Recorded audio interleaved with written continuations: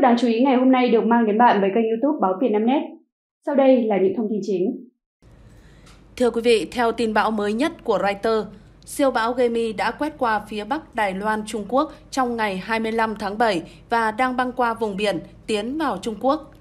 Siêu bão Gemi đổ bộ Đài Loan, Trung Quốc ở khu vực huyện Nghi Lan lúc nửa đêm ngày 25 tháng 7.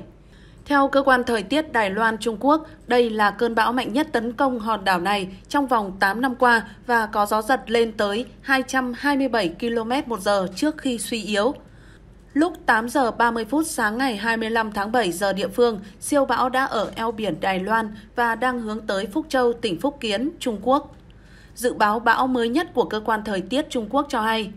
bão Gemi sẽ đi qua Phúc Kiến vào cuối ngày 25 tháng 7 và đi vào nội địa – dần dần di chuyển về hướng Bắc và hạ cấp. Tuy nhiên, các nhà dự báo thời tiết nhận định, trên đường di chuyển của bão Gemi, nhiều khu vực sẽ ghi nhận mưa lớn.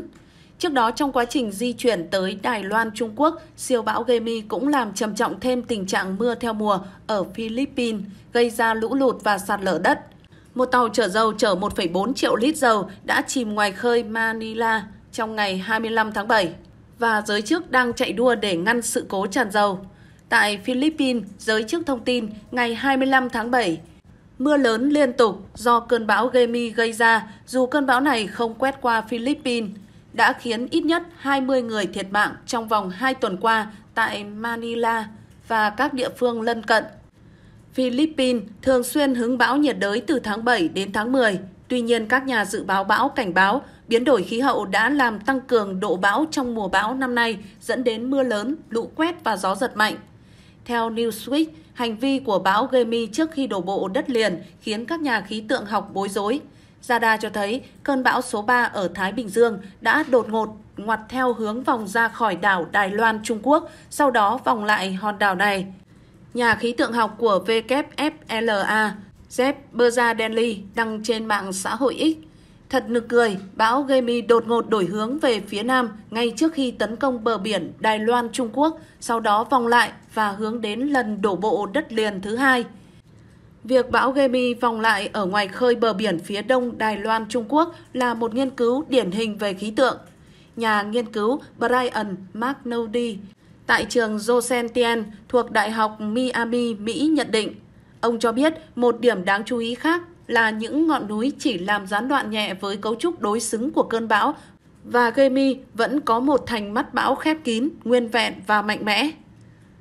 Zoomert cũng chia sẻ một đoạn hình ảnh radar cho thấy thời điểm cơn bão đang chuyển hướng khỏi Đài Loan, Trung Quốc. Chia sẻ của Zoomert nêu rõ, Gemi chuyển hướng đột ngột về phía nam ngoài khơi bờ biển Đài Loan, Trung Quốc và dường như đang tạm thời quay trở lại Thái Bình Dương. Theo trang AccuWeather,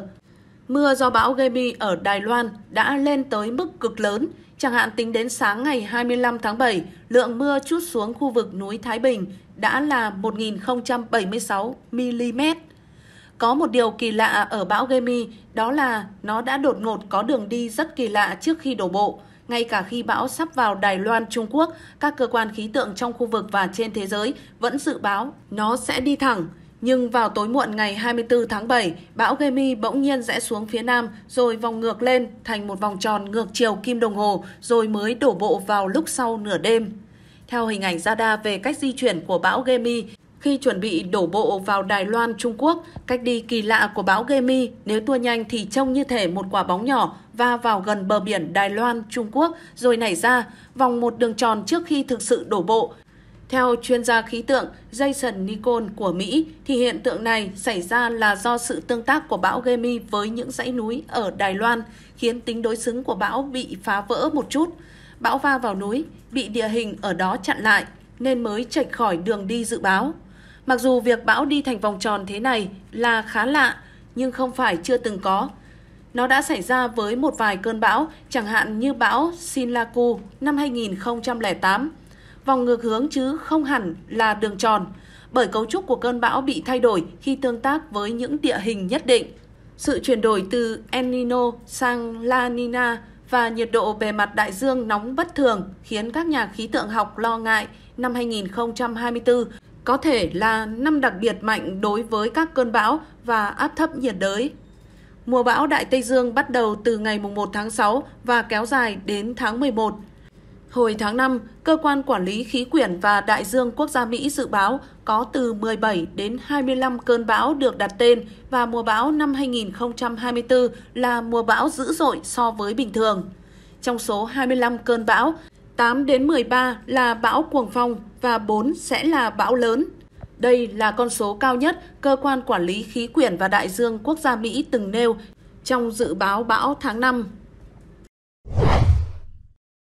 Theo tin bão mới nhất, siêu bão số 3 Gemi đã đổ bộ vào Đài Loan, Trung Quốc với gió giật lên tới 250 km một giờ.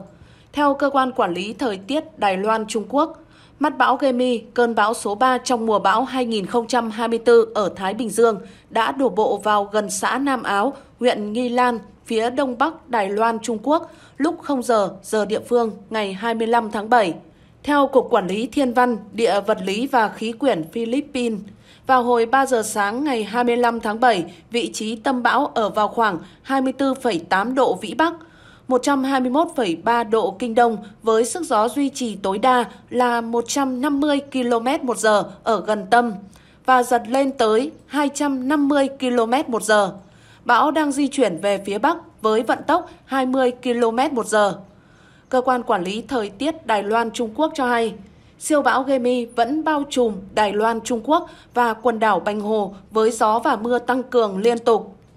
Theo Trung tâm Điều hành Khẩn cấp và chính quyền địa phương, ít nhất 3 người thiệt mạng và 227 người bị thương khi bão Gemi mạnh lên và đổ bộ. Trên khắp Đài Loan, Trung Quốc, 8.569 người đã được chính quyền địa phương di rời tạm thời như một phần của biện pháp phòng ngừa bão. Các trường học văn phòng và địa điểm du lịch trên khắp Đài Loan, Trung Quốc đều đóng cửa. Các hãng hàng không cho biết nhiều chuyến bay đến Nhật Bản, Trung Quốc và các điểm đến khác trong khu vực bị hủy trong ngày 25 tháng 7. Các nơi trú ẩn đã được mở ở những khu vực dễ bị tổn thương, đặc biệt là ở miền núi trung tâm và phía đông Đài Loan, Trung Quốc, nơi dễ bị lở đất và lũ lụt. Theo dự báo bão mới nhất, ảnh hưởng của cơn bão dự kiến sẽ tiếp tục kéo dài đến ngày 26 tháng 7 khi bão di chuyển theo hướng Tây Bắc về phía Trung Quốc đại lục. Theo Tân Hoa Xã, tại tỉnh Phúc Kiến trên bờ biển phía đông Trung Quốc, các tuyến phà đã bị đình chỉ và tất cả các chuyến tàu bị dừng trong ngày 25 tháng 7. Trong khi đó, mặc dù không đổ bộ vào Philippines, nhưng cơn bão Gemi mang theo mưa lớn đã gây ngập lụt ở thủ đô Manila của Philippines và các thành phố lân cận. Cơ quan thảm họa quốc gia Philippines cho biết ít nhất 13 người đã thiệt mạng và hơn 600.000 người phải di rời do bão. Theo lực lượng chức năng Philippines, 260 hành khách và 16 tàu thuyền đã bị mắc kẹt tại các cảng, trong khi các hãng hàng không đã hủy 114 chuyến bay khởi hành từ Manila ngày 24 tháng 7. Thị trường tài chính cũng đóng cửa. Người phát ngôn của lực lượng bảo vệ bờ biển Philippines, chuẩn đô đốc Armando Balilo cho biết họ đã nhận được rất nhiều yêu cầu giải cứu của người dân thủ đô. Một số người thậm chí chờ sẵn trên nóc nhà. Tổng thống Philippines ra lệnh cho chính quyền tăng tốc nỗ lực cung cấp thực phẩm và viện trợ cho các làng nông thôn bị cô lập. Tổng thống Philippines nói trong một cuộc họp khẩn cấp, mọi người ở đó có thể đã không ăn trong nhiều ngày. Tại khu vực đông dân cư xung quanh thủ đô Philippines, các cơ quan chính phủ và trường học đều bị đình chỉ sau khi mưa làm ngập lụt nhiều khu vực chính quyền tỉnh Thiểm Tây, Tây Bắc Trung Quốc đã nâng mức ứng phó khẩn cấp đối với hoạt động cứu trợ thiên tai từ cấp 4 lên cấp 1 sau thảm họa do mưa lớn và lũ quét khiến ít nhất 20 người thiệt mạng tại địa phương này. Ủy ban phòng chống giảm nhẹ và cứu trợ thiên tai cấp tỉnh cho biết đã kích hoạt hệ thống ứng phó khẩn cấp mức cao nhất vào lúc 10 giờ sáng ngày 23 tháng 7 theo kế hoạch cứu trợ thiên tai khẩn sau khi ghi nhận những thiệt hại đáng kể và mối đe dọa liên tục do lũ lụt gần đây. Trước đó vào 9 giờ sáng ngày 23 tháng 7, Đài quan sát khí tượng tỉnh Thiểm Tây đã nâng mức cảnh báo mưa lũ lên màu vàng với dự báo mưa bão lớn sẽ hoành hành tại các thành phố Diên An, Đồng Xuyên, Bảo Kê, Hàm Dương và Hán Trung từ 9 giờ sáng ngày 23 tháng 7 đến 9 giờ sáng ngày 24 tháng 7.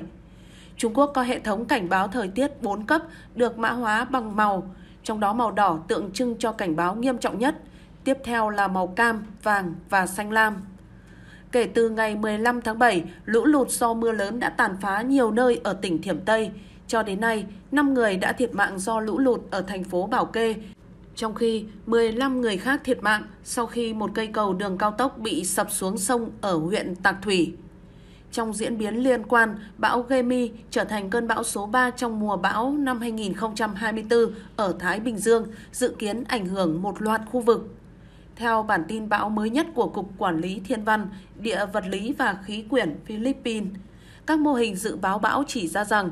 cơn bão sẽ chuyển hướng theo hướng Tây Bắc và tiến đến quần đảo Yaezama, tỉnh Okinawa của Nhật Bản vào đầu ngày 24 tháng 7 trước khi tiếp tục di chuyển theo hướng Tây Bắc và đổ bộ vào huyện Nghi Lan ở Đông Bắc Đài Loan, Trung Quốc vào cuối ngày 24 tháng 7.